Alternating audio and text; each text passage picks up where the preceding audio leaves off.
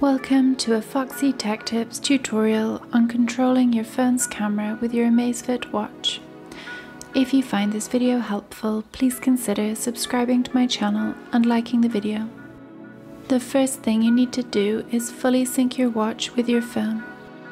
To do this, open up the Zepp app on your phone and tap Profile in the bottom right corner.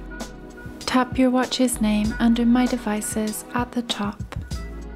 Then scroll down and tap Lab.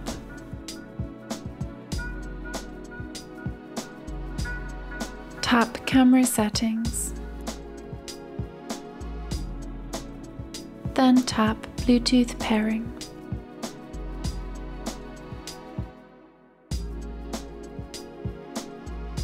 Tap Pair to accept the pairing request.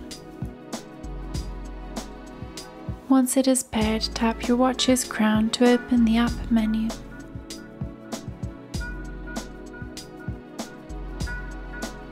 Scroll down the app menu and then tap More.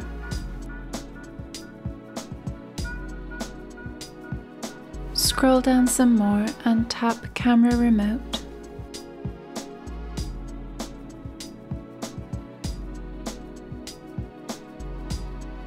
Now open the camera app on your phone.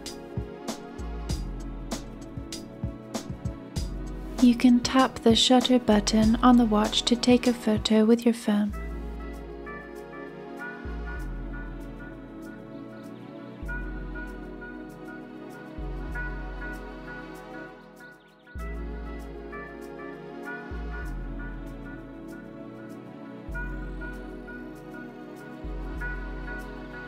If you switch to video on your phone, you can use the shutter button on your watch to start and stop recording video on your phone.